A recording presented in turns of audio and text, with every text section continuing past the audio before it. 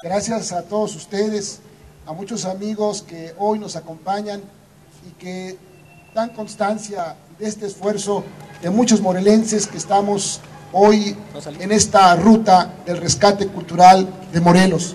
Como dijo Denise, es un trabajo que se va a poner a disposición de todos los morelenses y se inició en Cuautla precisamente porque es la capital cultural del estado de Morelos. Gracias a todos los presidentes municipales, amigos todos, a Panchito, a Javier, a Saturnino, a nuestro amigo Espuru, a todos los que están presentes, a la diputada Lili Barra, muchas gracias, a don Fernando, muchas gracias que estás con nosotros, y debemos reconocerles su presencia.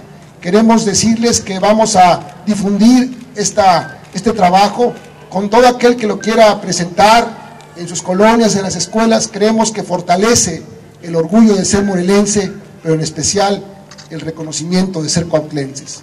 Yo quisiera para despedirme pedirle a un hombre que impulsó el turismo en una época, de un hombre que nos une a muchos de nosotros, que fue don Lauro Ortega, aquí está Panchito también, pero a don Jaime Morales Guillén solicitarle, nos dé sus palabras, vamos a decirles que en su eh, en Estereomundo vamos a iniciar los programas, don Jaime, muchas gracias.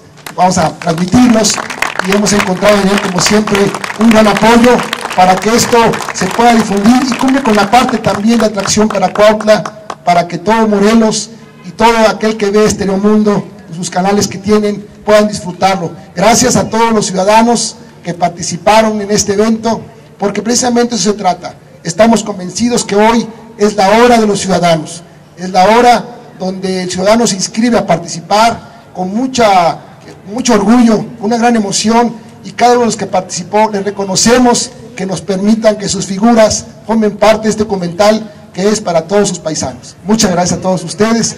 Gracias. Jaime.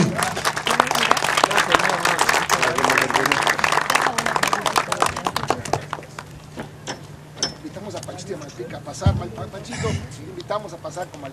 A ver con los expresidentes municipales, que cada uno de ellos dejó su huella en Cuautla y eso es muy trascendente y muy importante.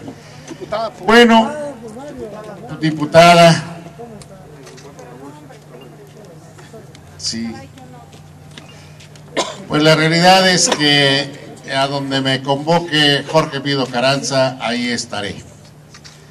Porque nos une una amistad de muchos, muchos años yo creo que el valor de la gente es justamente su amistad, su libertad, su afecto.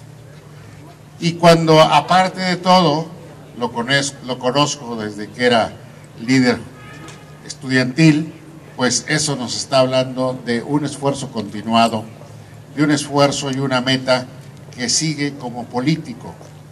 Entonces, nosotros en México estamos faltos de políticos verdaderamente. Y eso lo he comentado muchas veces en mis programas, en mis puntos de vista. Así es que realmente te felicito, Jorge, por este esfuerzo que haces. Yo creo que lo que todos en nuestra plataforma, en nuestra trinchera, en nuestra capacidad de expresión podamos hacer por Morelos, yo creo que será siempre bienvenido. De hecho, en mi empresa hemos adoptado desde hace algún tiempo una frase que debe ser, o ese es el espíritu que tiene, de motivar y decimos, hoy haremos lo mejor por Morelos. Yo pienso que lo que estás haciendo es justamente hoy hacer lo mejor por Morelos, reuniendo voluntades, saludando a los amigos, pero además despertando conciencias y además entender cuál es el valor extraordinario que tiene Coahuila. Yo vivo aquí, además les quiero decir desde hace muchos años, mis amigos lo saben. Entonces, la verdad es que siempre me he quejado, lo digo ahora, siempre me he quejado de que no le damos el valor suficiente a Cuautla. Y se lo digo por mis amigos expresidentes. Les he dicho, no sabemos darle el valor que tiene Cuautla.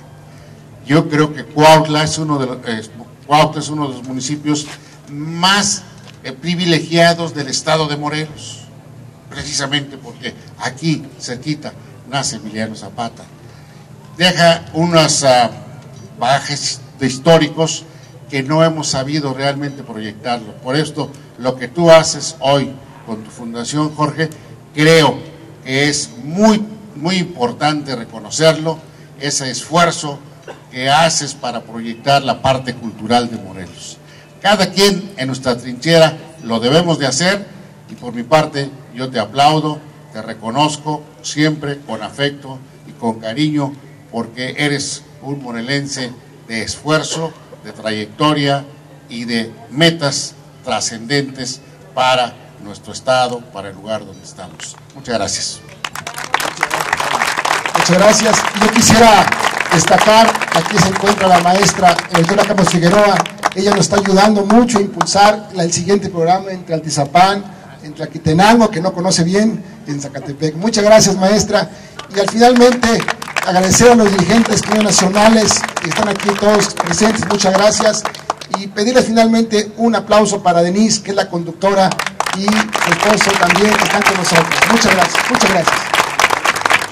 Licenciado Jorge Mit, pensábamos que la política estaba peleada con la cultura, pero ya vemos que no. Usted ha mirado hacia un gran, este, pues, eh, evento cultural aquí, empezando con esta Fundación Morelos, eh, para que pues, se promueva la cultura del Estado de Morelos, pues no solamente aquí en el Estado, sino a nivel nacional.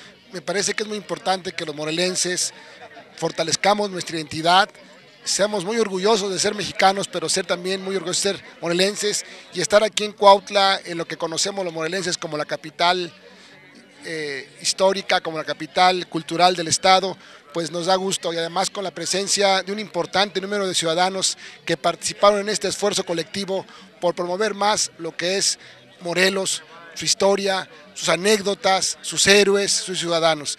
De veras que nos da mucho gusto, es un esfuerzo colectivo y se inicia con esto una etapa de cada municipio de promover y en destacar lo que todo lo valioso que tenemos en esta época tan, de tantas noticias nada agradables, también encontrar lo nuestro y lo que nos une.